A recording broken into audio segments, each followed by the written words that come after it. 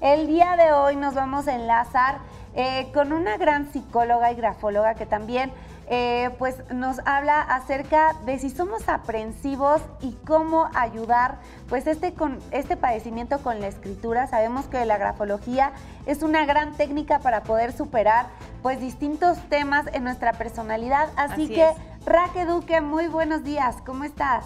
Hola Raque. Hola, buen día Viri, hola, buen día Rosy. Muy bien, gracias. ¿Y ustedes? Pues muy contentas de tenerte aquí con este tema que me parece maravilloso porque en estos tiempos de pandemia muchos de nosotros eh, de repente tenemos comportamientos aprensivos, así que ¿cómo usamos la escritura, mi querida Raquel, para esto? Claro que sí, Rosy. Pues bueno, primero es saber si eres aprensivo, ¿no? Porque a veces crees que eres aprensivo y no lo eres. O al contrario, dices, no, para nada.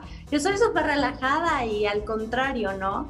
Entonces, pues bueno, primero hay que saber si somos aprensivos y cómo lo vamos a descubrir. Pues bueno, prácticamente la aprensión es justo esta característica que nos hace mantenernos alertas y preocupados constantemente por situaciones que puedan o no pasar, porque hay unas que sí, por ejemplo, a lo mejor si vamos caminando por una calle de noche, si decimos, bueno, siento temor, ¿no? De que algo me vaya a suceder.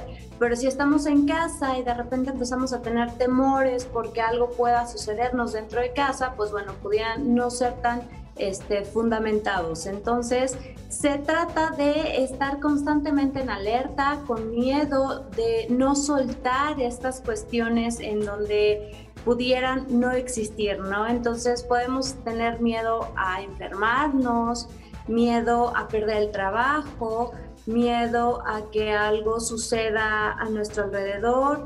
Entonces, primero hay que descubrir si realmente estamos teniendo este tipo de características. Y ahora, ¿cómo saberlo a través de tu letra? Pues bueno, eh, primero hay que escribir un párrafo grande, lo más grande que puedas, para que puedas ir descubriendo cómo es tu escritura. Y vamos a ver, vamos a encontrar en tu letra las siguientes características. La primera, vas a escribir las palabras muy juntas, o sea, tus letras se van a encimar prácticamente una con otra o va a haber nulo espacio entre una letra y otra, o sea, apretado. Vas a escribir de manera eh, comprimida. La otra es, vas a encontrar una escritura más pequeña, ¿no? Vas a, a utilizar entre 2 y 2.5 milímetros de, contando a partir del óvalo. ¿Qué quiere decir?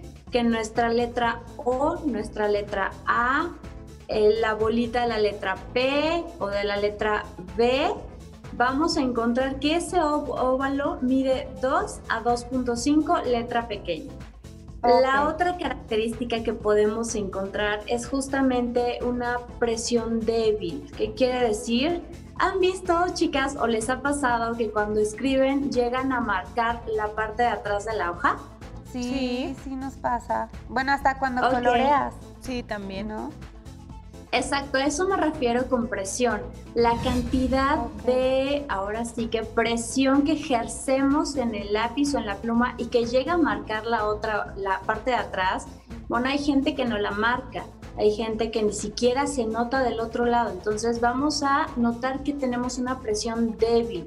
Entonces, estas características en general o la inclinación de las letras que tienen eh, AMPA, que es la parte de arriba, como la T, la D, la B, vamos a notar que la inclinación está hacia atrás. Ajá, ah. entonces vamos a ver, e, esto quiere decir que, que, nos frenamos, que nos da miedo. ¿Por qué? Porque justamente la aprensión es parte del miedo. Entonces, ¿cómo podemos mejorarlo? Pues bueno, vamos a procurar que nuestra letra no sea tan, tan parejita ni encimada, sino que tenga apertura, que se vea como ese fluir, ese aire entre las letras. Vamos a buscar también que nuestra letra sea mediana, no tampoco grande, no nos vamos a ir al extremo, sino mediano, entre 3 y 3.5 milímetros de lo que les explicaba del óvalo. Eh, también vamos a, a tratar de, hacer un de ejercer un poco de más presión en nuestra escritura.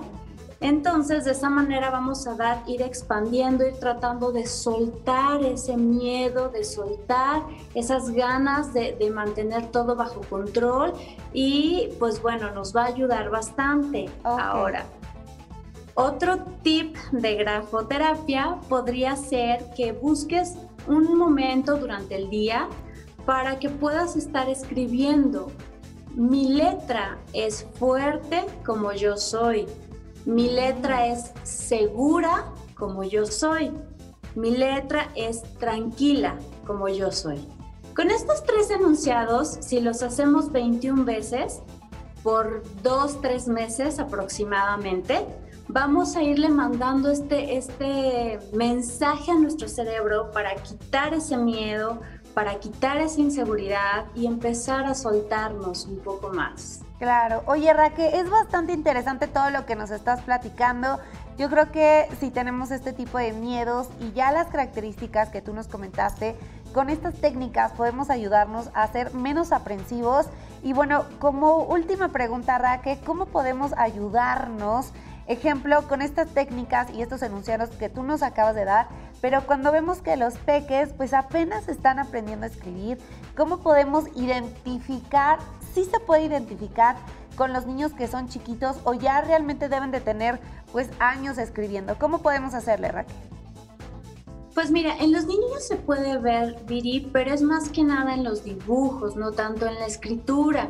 Eh, hay etapas justamente del escribiente en donde vamos a ir em, visualizando cómo va tomando forma su escritura. Y eso más o menos lo hacen justamente como entre 18 y 21 años, que ya tomaron características y definieron perfectamente todos sus, sus grafos, ¿no? Entonces, más o menos a esa edad, claro, de niños y adolescentes se puede notar, pero eh, tenemos que encontrar estas mismas características y hay que ver con los niños y adolescentes hay que ver qué está sucediendo a su alrededor, si hay un miedo realmente fundamentado, a lo mejor algo sucede en la escuela, sus compañeros o en casa, cómo está el ambiente familiar, para ver qué está ocurriendo. No es, tan, no determinado como en un adulto, por ejemplo, que ya tenemos una personalidad eh, eh, estructurada y que además ya podemos ir viendo que es un rasgo que se repite, que es algo muy característico. No sé si les pasa que ustedes de, jóvenes o de más chiquitas ven, ven su letra y dicen, ay, ¿cómo era mi letra, no? y que ahorita ya es totalmente diferente. Entonces, eh, como ven, nuestra escritura a lo largo de nuestra vida va cambiando. Entonces, en los chicos tendríamos que ir viendo todo, toda la circunstancia. Oye, qué maravillosa herramienta, de verdad nos comparte siempre mi querida Raquel. Pero bueno, si en casita quieren saber más, quieren alguna consulta contigo, ¿dónde te podemos contactar? Claro que sí, Rosy, pues está mi Instagram, es arroba psicógrafo-raquel-duque o en mi Facebook estoy como Raquel Duque. Ahí pueden contactarme. Por la mañana